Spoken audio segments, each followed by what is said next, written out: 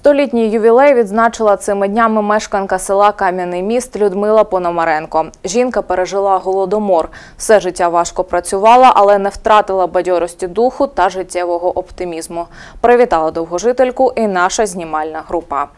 За все своє життя Людмила Андріївна ніколи не відпочивала. Трудилася в колгоспі, сапала, в'язала снопи та варила обіди механізаторам. Весь цей час серед людей та для людей. Схоронила практично усіх рідних, тепер живе спогадами. Найпекучіші про голодомор. Оце ж ми їли тоді какіш, щавій, цибулиня, квасок. Оце ми цим кормилися. Ходили на степу, збирали мерзлу картошку, тільки вона померзла і сухенький крохмал. Шкаралупку обчистили, а крохмал є. Принесли додому, потовкли і коржики ліпили. Втім, свій сотий день народження жінка зустріла в гарному настрої та при доброму здоров'ї.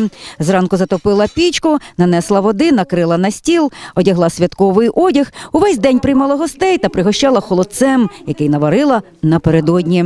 Всі її вітали сьогодні з самого ранку. Підприємці, керівники сільськогосподарських підприємств. Щирі вітання передавав наш Олександр Тимофійович Ляхов, наш Кам'яномосівський сільський голова.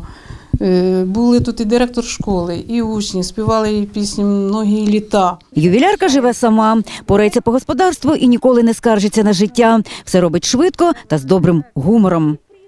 Кладаю дрова. Ще сама й рубаю. Як нема кому, то й сама принесу потрошки. Раз принесла, виляла в відро. У мене ж близенько. Слава Богу, водичка в хаті. Скільки принесла, скільки є, і хватить. На питання про секрет довголіття посміхається. Каже, 33-й рік загартував.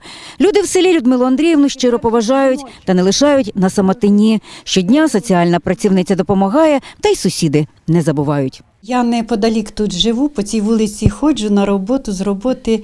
Так що буває, забіжу, яка хвилинка є, забіжу, спитаю, е, чи хліб є, чи там вода є, що треба зробити.